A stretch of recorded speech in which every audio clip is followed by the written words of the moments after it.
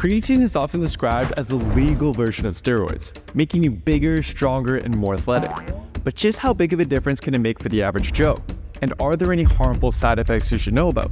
Meet Raza, our guinea pig, a beginner who has never taken creatine. In the next 30 days, we're going to track his weight, muscle size, and strength to see just how much this supplement helps or hurts him.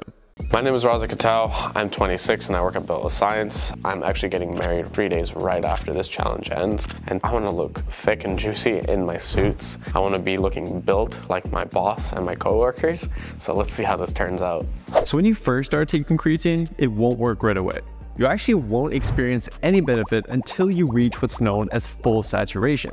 This is the point when your muscles' creatine stores are completely full.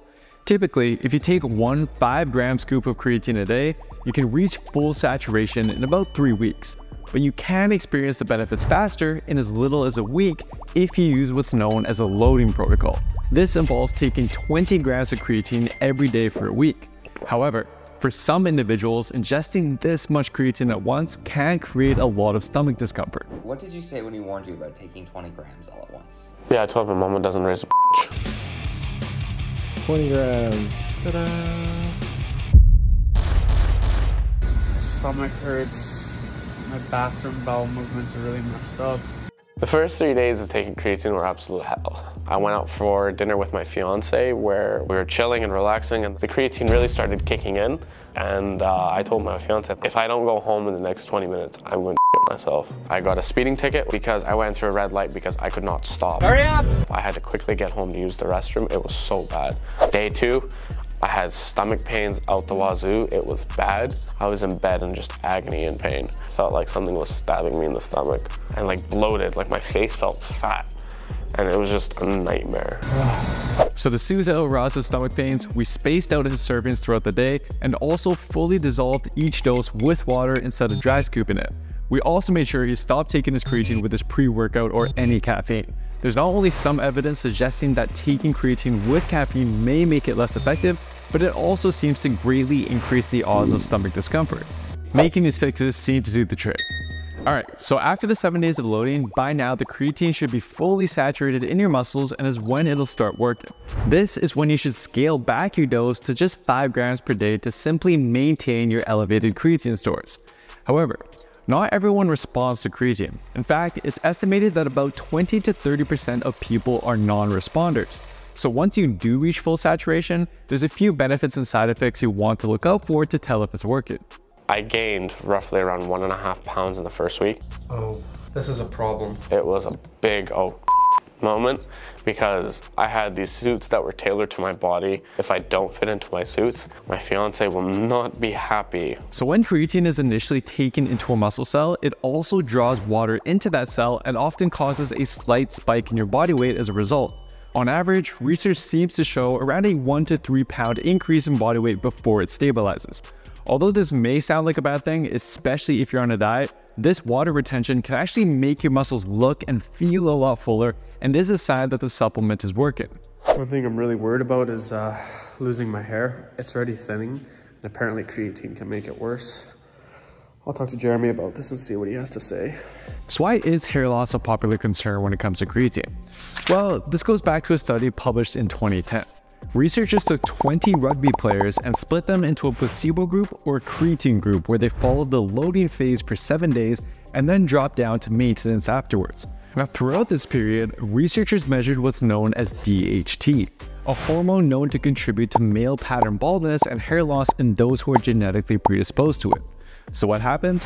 Well, the creatine group actually experienced a significant increase in their DHT levels by about 56% after the loading phase, which then reduced down to a 40% increase during the maintenance phase. So does this mean hair loss is a legitimate concern?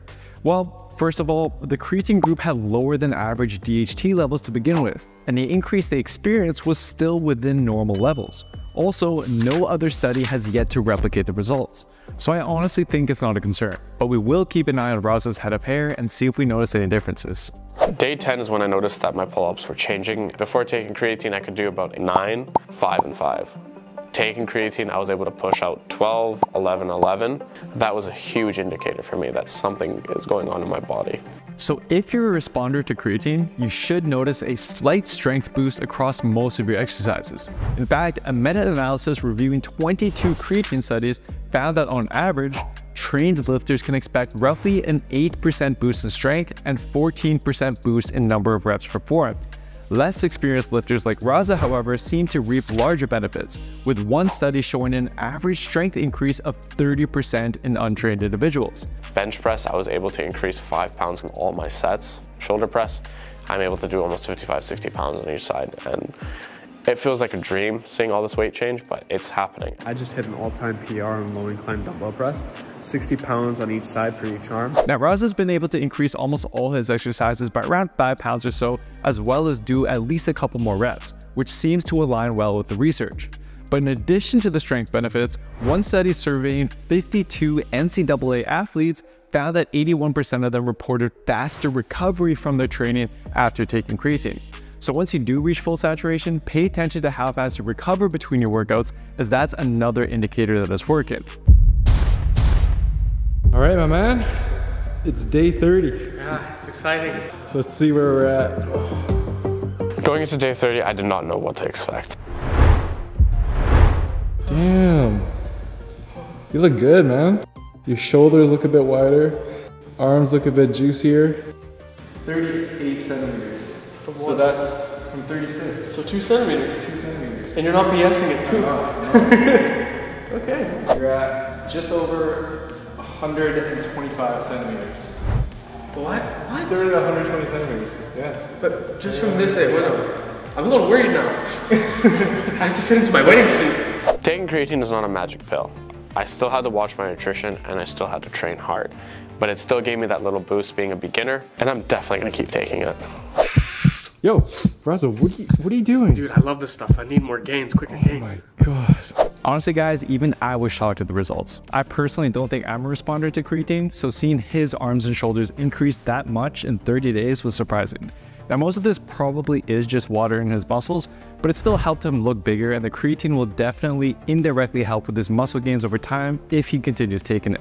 I'm happy it worked for him though. His wedding suit just barely fit because of his gains, but he did get his wish of looking a little more thick and juicy in it. And best of all, he was able to keep his head of hair, and according to his barber, there wasn't any noticeable change.